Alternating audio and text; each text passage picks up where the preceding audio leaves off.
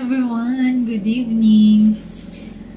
So today, meron tayong re-reviewin na product.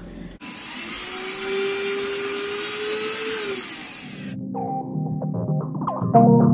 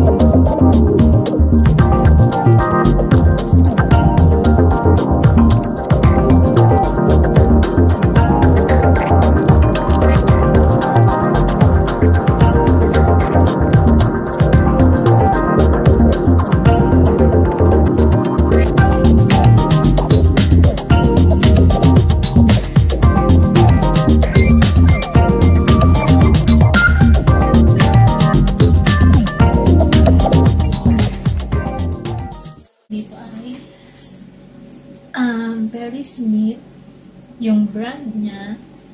At ito ay cordless, tsaka handheld na vacuum cleaner.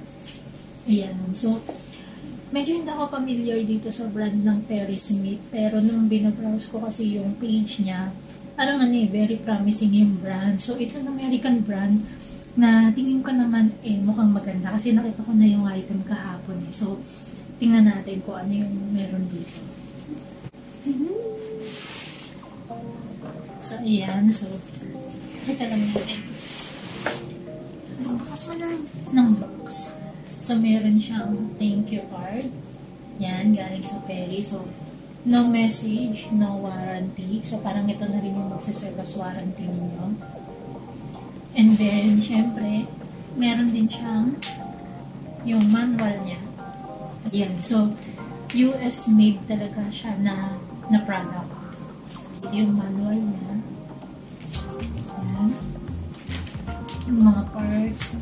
Medyo binasa na rin kahapon. Yan. Kompleto yung manual. And then, meron din siya nito maliit na pouch bag. And then, ito yung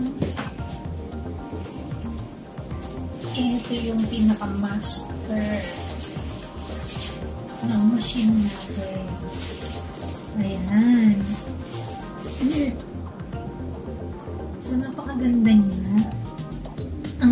Design niya, very modern. So, ito yung hawakan. Magaan lang siya. Ito yung labasan ng air.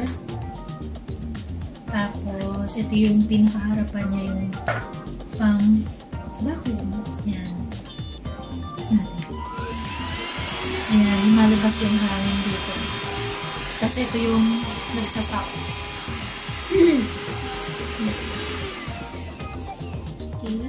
So, magaan siya. Yan. And then, ito yung ang cute niya, di ba? Siyempre, itong hose niya para dun sa ilalim. So, ibig sabihin, vacuum siya, pwede ka rin mag-blow ng air kung halimbawa may mga alikabok na kailangan mo alisin. so, ito pwede natin siyang gamitin. And then, USB, pang charge. Type-C yung USB niya. Ito yung brush nozzle. Yan. Cute.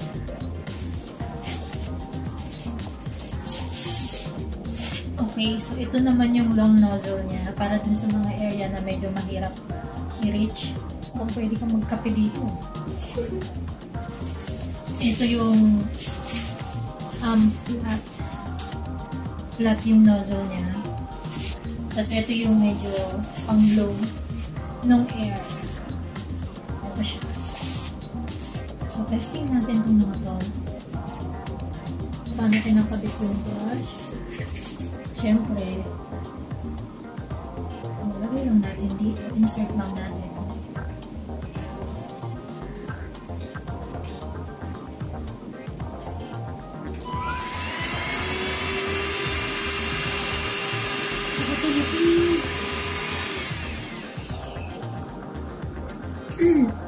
And then,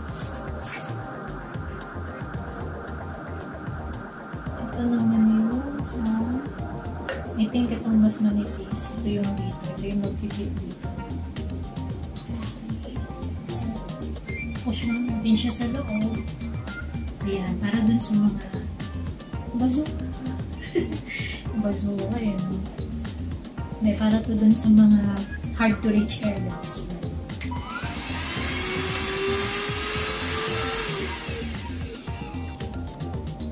makikita niyo yung sa loob, oh, gumagalaw siya. Ayan.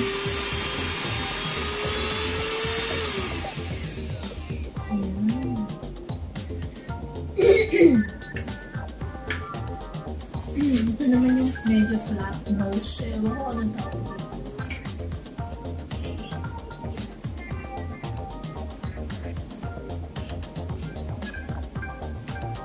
Flat surface.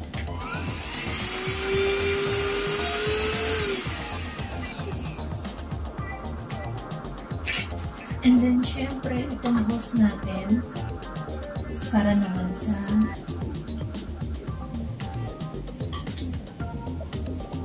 air blow.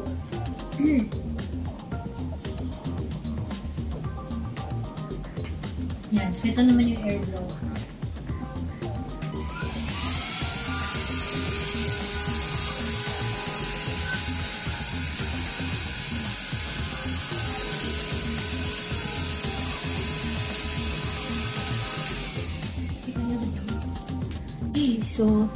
Think kompleto naman. So, bakit ba ako bumili nito? Kasi, tagal na kami naka-work from home and na naiinis ako dahil kahit anong linis ko dun sa sa keyboard, hindi nawawala yung alikabok. Minsan kasi may mga lumulubog na siya na case. So, syempre, alam nyo naman, pag may mga lumulubog na case, ibig sabihin nun meron na siyang mga particles dun sa loob na kailangan ma matangkad. So, gusto ko talaga siyang ma malinisan, kaya bumili ako ng ganito. Ngayon, gusto ko unahin yung air blower.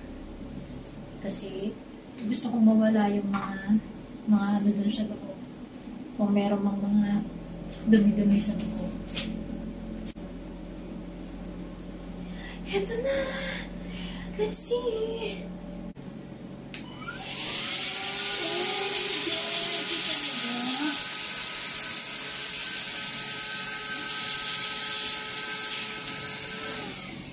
Kita nyo, di ba, yung mga puti-puti?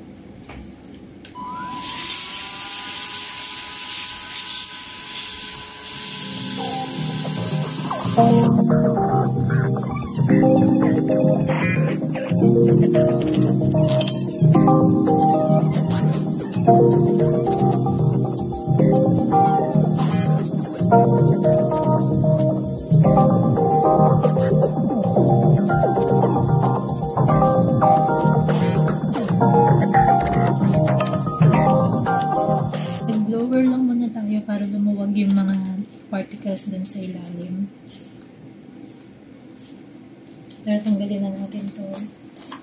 gagamitin na natin yung vacuum. So, makikita po natin, wala yung dumi sa loob.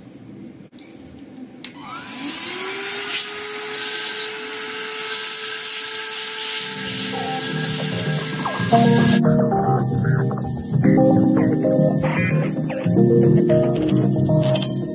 you.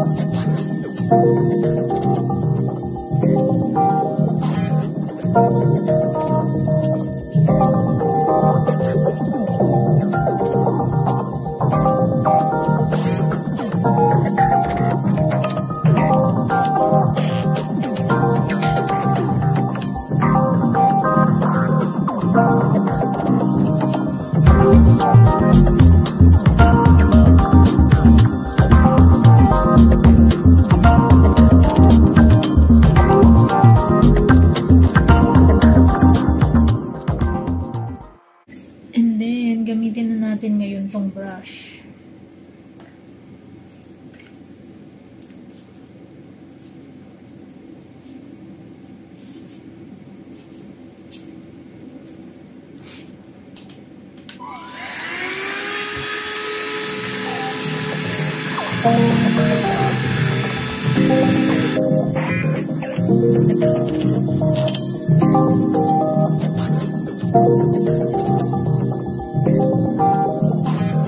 Yun.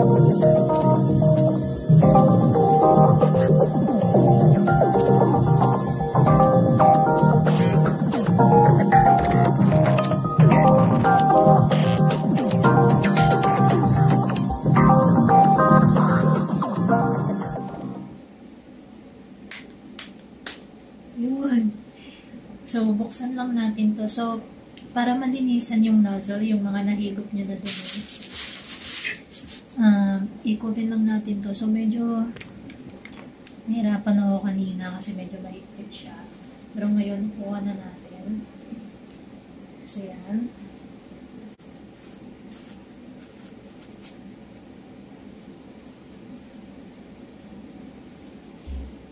So, mukhang mga alikabok lang talaga.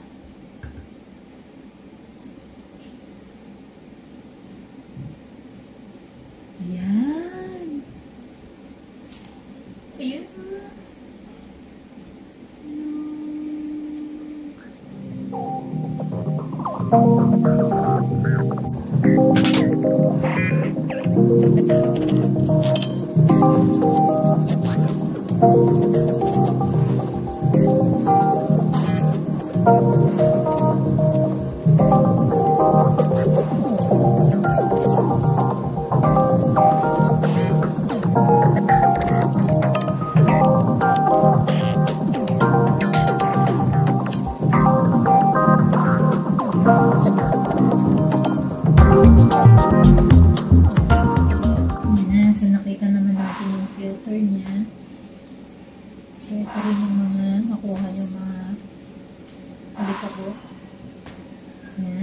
Madami. Ngayon, so pwede naman daw gumamit ng wet cloth or disposable paper towel to clean the dust container. Pwede rin naman daw hugasan ng water basta patuyuin lang siya, i-dry lang siya naturally. So, kuha tayo ng tissue.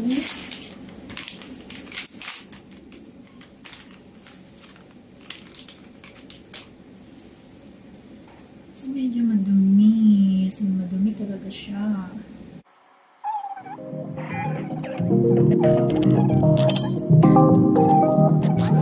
Ayan.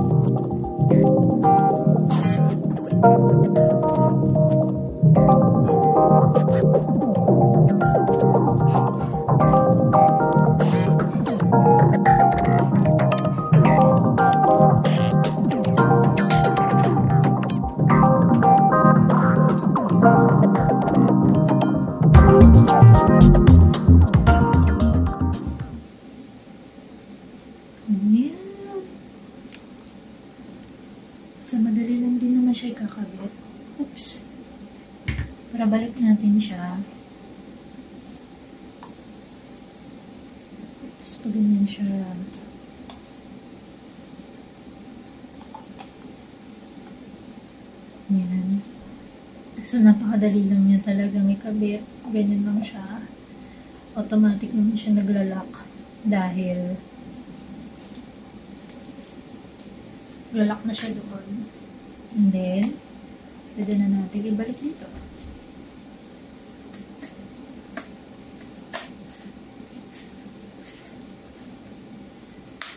Yun, naglalak in place din naman pala siya.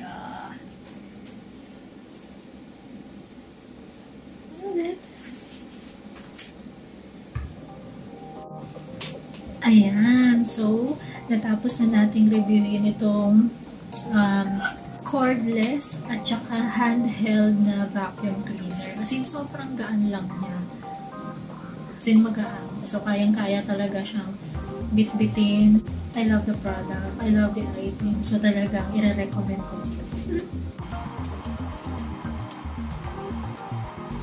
Ayan. Thank you so much, Perry Smith, sa goodbye.